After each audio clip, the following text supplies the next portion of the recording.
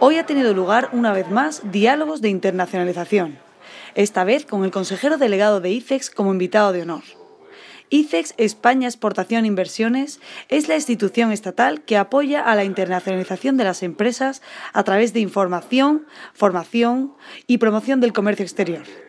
de lo que en su momento fue el fomento de la exportación a lo que la realidad hoy es la eh, internacionalización de la economía española. Es decir, el ICES hoy día no es un instituto de fomento de la exportación, sino que es mucho más. Es el instituto que lidera eh, el proceso de internacionalización de esta economía que nos encontramos hoy día en un mundo globalizado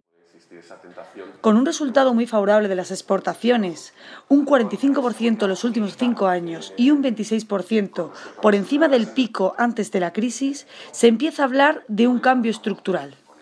Es que esto es un cambio, supone un cambio estructural en el comportamiento de nuestro sector exterior. Y tenemos algunos detalles que, permiten eh, confiar en ello, esta extraordinaria evolución, eh, pero también eh, el crecimiento y la consolidación de la participación de las exportaciones de bienes y servicios con respecto a nuestro PIB por encima del de, mucho de, nuestro, de muchos de nuestros socios y el importante giro que se ha producido no solo en la balanza comercial y de bienes y de servicios, sino en el comportamiento de, nuestra balanza por cuenta corriente. El consejero delegado destacó que los resultados electorales no deben influir en la actividad económica y que nadie va a dejar de invertir o de desaprovechar oportunidades por un cambio de gobierno. Solo un 4,7% del tejido empresarial exporta. ICEX aporta soluciones claras. Eh, está claro que tenemos que hacer dos cosas, seguir trabajando en aumentar la base de empresas eh, exportadoras, cuantas más mejor,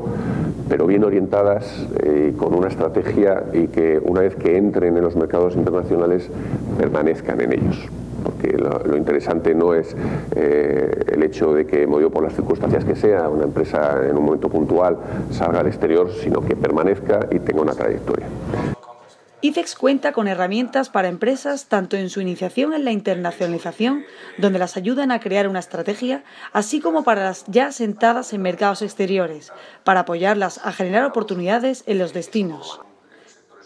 Entre los objetivos de la institución está la diversificación, Efectivamente, uno de nuestros objetivos y objetivo estratégico eh, de ICEX también es la, diversificación de nuestros mercados de exportación. Em, esta diversificación eh, yo creo que sí que se ha venido produciendo en los últimos años. De hecho, en los últimos cinco años hemos pasado de cerca de un 70% de exportación a la Unión Europea em, a situarnos en el ejercicio pasado en un 63,4%.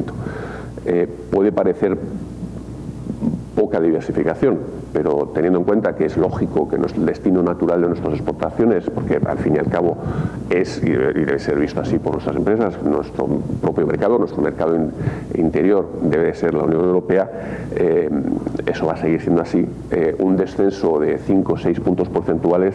eh, supone un cambio, yo creo que muy, muy importante.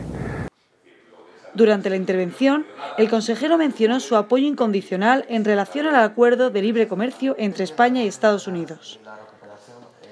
Y cerró su intervención con la esperanza de que, a pesar de la evolución económica, confíen que las empresas han aprendido la lección y no se van a cerrar a los mercados locales.